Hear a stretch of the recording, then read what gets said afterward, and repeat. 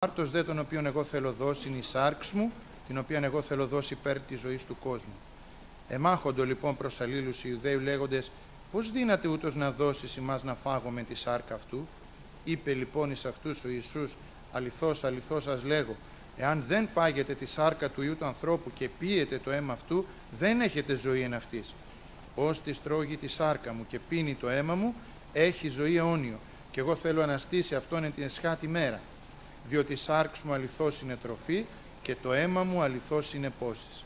Ως τη στρώγει τη σάρκα μου και πίνει το αίμα μου, εν εμή μένει και εγώ είναι αυτό. Καθώς με απέστειλο ζών πατήρ και εγώ ζω δια τον πατέρα. Ούτω και ως της με τρώγει θέλει ζήσει και εκείνος δι' εμέ. Ούτως είναι ο άρτος ο καταβάς εκ του ουρανού. Ουχή καθώς οι πατέρες σας έφαγον το μάνα και απέθανον, όσοι στρώγει τούτον των άρτων, θέλει ζήσει στον αιώνα. Αμήν. Αλληλούια. Ο Κύριος μας, όσο ήταν στη γη αυτή με τη μορφή την ανθρώπινη, διδάσκει τους μαθητές του για κάτι που θα κάνουν στο μέλλον και είναι η λατρεία τους και η λατρεία των χριστιανών, η κλάση του άρτου, το να γίνω κοινωνός του σώματος και του αίματος του Κυρίου. Να γίνω κοινωνός. Και τους λέει ο, τους μαθητές ότι εγώ είμαι ο άρτος της ζωής. Ο Χριστός είναι ο άρτος της ζωής. Οι πατέρες σας φάγανε το μάνα. Γιατί εκείνοι ξέρανε για το μάνα, έτσι, ότι ήταν η τροφή που μας έστειλε ο Θεός, πράγματι, έτσι. Ο Θεός έστειλε την τροφή αυτή, από τον ουρανό. Για να κρατηθούν στη ζωή. Και εμάς μας δίνει έναν άλλον άρτο για να κρατηθούμε στη ζωή, αδελφοί. Αλληλούια. Και αυτός είναι ο ίδιος ο Κύριος. Το σώμα μου και το αίμα μου, λέει ο Κύριος. Είναι φοβερό, αδελφοί, έτσι. Είναι φοβερό. Και τον ευχαριστούμε πολύ τον Κύριο.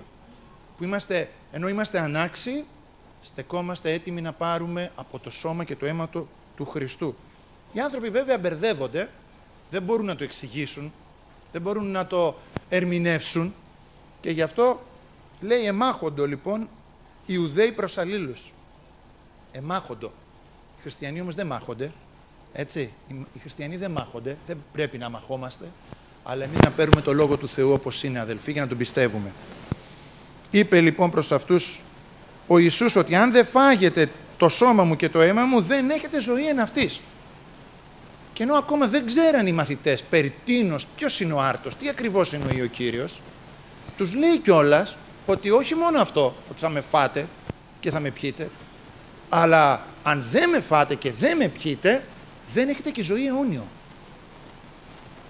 Παράξενα λόγια. Παράξενα λόγια στα αυτιά των μαθητών. Και κάποιες φορές είναι παράξενα τα λόγια του Θεού και σε εμάς, αδελφοί. Αλλά δεν καλούμαστε να τα εξηγήσουμε τα λόγια του Θεού, καλούμαστε να τα πιστέψουμε. Αλληλούια. Γι' αυτό κάποιοι σκανδαλίστηκαν και είπανε σκληρός ο λόγος. Τι λέει αυτός ο άνθρωπος, να φάμε το σώμα του, τροποφάγοι θα γίνουμε. Τι εννοεί; Και φύγανε. Α, δεν είναι αυτός ο Χριστός, θα είπανε. Δεν είναι αυτός ο Θεός. Και ήταν αυτός. Και ήταν εκείνος. Και χάσανε την ευκαιρία της αιώνιας ζωής. Να μην τη χάσουμε εμείς αδελφοί. Εδώ είναι ο Κύριος. Εδώ είναι ο Ιησούς. Και υπάρχει θυσία. Αρνείο εσφαγμένο. Εμπροστέν μας. Θα, όποιος λοιπόν τρώγει το σώμα μου και πίνει το αίμα μου, έχει ζωή αιώνιο. Και εγώ θέλω αναστήσει αυτόν εν τη εσχάτη μέρα. Να, δύο λόγοι. Θα έχω ζωή αιώνιο και εκείνη την ημέρα θα με αναστήσει ο Κύριος. Ο Θεός θα με αναστήσει. Πότε, στην αρπαγή της Εκκλησίας. Αλληλούια. Διότι η σάρξ μου αληθώς είναι τροφή. Αυτή είναι η αληθινή τροφή. Αυτή είναι η αληθινή τροφή. Αυτό είναι το φαγητό μας αδελφοί που τρώμε κάθε Κυριακή και το αίμα μου αληθώς είναι πόσης. Ως τη στρώγει τη σάρκα μου και πίνει το αίμα μου, ενεμή μένει και εγώ είναι αυτό. Και άλλη επαγγελία χαρίζει ο Θεός. Όποιος μετέχει αυτής της κοινωνίας, εγώ θα μένω, λέει ο Χριστός, μέσα του και αυτός θα μένει μέσα μου. Δόξα στον Κύριο, αλληλούια. Ως της με τρώγει, θα ζήσει και εκείνος δια εμέ. Το να ζήσω για το Χριστό δεν μπορώ να το κάνω αν δεν μετέχω στην κοινωνία του σώματος και του αίματος του Κυρίου αδελφοί. Γι' αυτό είναι απαραίτητο για όλους αυτούς τους λόγους που βλέπουμε εδώ γραμμένους και για άλλους. Η σενθύμηση λέει αλλού, έτσι, να θυμόμαστε τη θυσία αυτή που έκανε. Άρα όταν ερχόμαστε να πάρουμε το σώμα και το αίμα του Χριστού, θυμόμαστε το σταυρό του Γολγοθά. Θυμόμαστε ότι εκεί πάνω ο Θεός έγινε άνθρωπος, έσκησε το σώμα του, χύθηκε το αίμα του, ενώ θα πρέπει εγώ και εσύ να είμαστε εκεί για τις αμαρτίες μας. Αλλά δόξα στον Κύριο που ήταν εκείνος. Ευχαριστούμε το Θεό. Και πλήρωσε εκείνος και το θυμάμαι τώρα. Και όχι μόνο αυτό, αλλά θα μου χαρίσει και ζωή αιώνιο. Θα σου αναστήσει την ημέρα εκείνη. Θα ζεις μέσα του όλη τη βδομάδα και θα ζει μέσα σου και πραγματικά θα ζούμε αδελφοί. Γι' αυτό αν έχουμε αμαρτήσει σε ανθρώπους, στο Θεό, τούτη την ώρα να ζητήσουμε το αίμα του Ιησού Χριστού που καθαρίζει μας από πάσης αμαρτίας. Έτσι λέει η Γραφή. Να μετανοήσουμε και να επιστρέψουμε.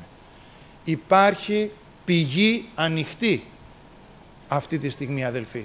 Υπάρχει αίμα που τρέχει άγιο για να καθαρίσει την αμαρτία σου.